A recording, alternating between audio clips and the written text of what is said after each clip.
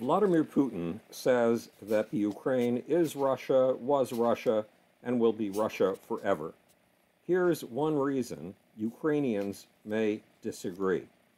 Once upon a time, around 850 AD, um, 1200 years ago, um, a group of Vikings came down the river system of Eastern Europe and took a valuable commodity from the lands that they passed in their Viking ships.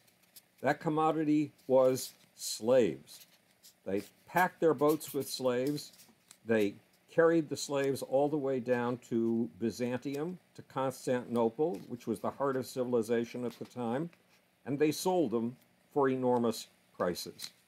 Um, Russia has a valid claim when it says that the Ukraine is Russia and was Russia, because the first Russian empire, the first Russian prince, was installed in a new Russian capital, a trading city deliberately set up to take these slaves and send them down the river. And that city, that start of Russia, was Kiev. Kiev, the capital of the Ukraine today.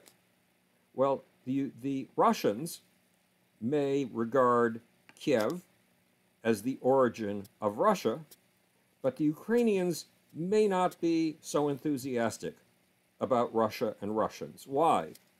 They were the people that the Vikings, now called Rus, Russians, enslaved. And apparently, those people, and that's one of the reasons they were called Slavs. And that's one of the reasons the Ukrainians do not want to be taken by Russia today.